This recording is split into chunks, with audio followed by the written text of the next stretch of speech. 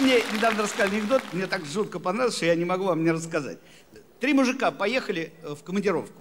Поехали в командировку, там работали, э, делали дела свои, ну, гуляли, конечно, как следует. И вдруг один бац, сердце отказало и умер.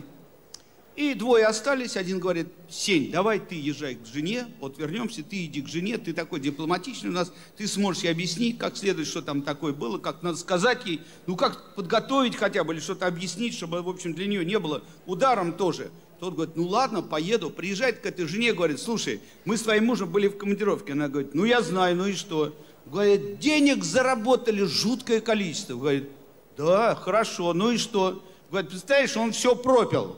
Она говорит, да чтобы он сдох уже. Маленькую миниатюрку вам сейчас почитаю.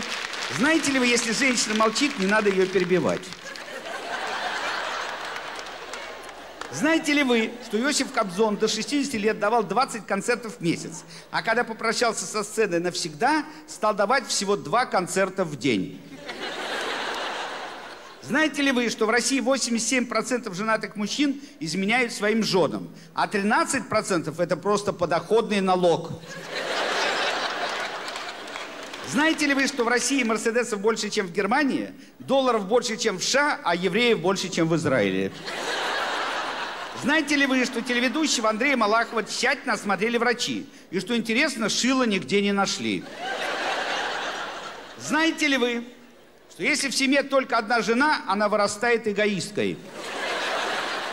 Знаете ли вы, что жизнь надо прожить так, чтобы первую половину вас кормили ваши родители, а вторую половину дети? Знаете ли вы, что слово «нет» по-прежнему лучшее противозачаточное средство? Знаете ли вы, что братья Кличко снялись в рекламе зубной пасты? Они спрашивают у прохожих, вы готовы проверить свои зубы прямо сейчас? И, наконец, знаете ли вы, что мэр Москвы Лужков наконец разрешил проведение гей-парада? Но только в день десантника. Все.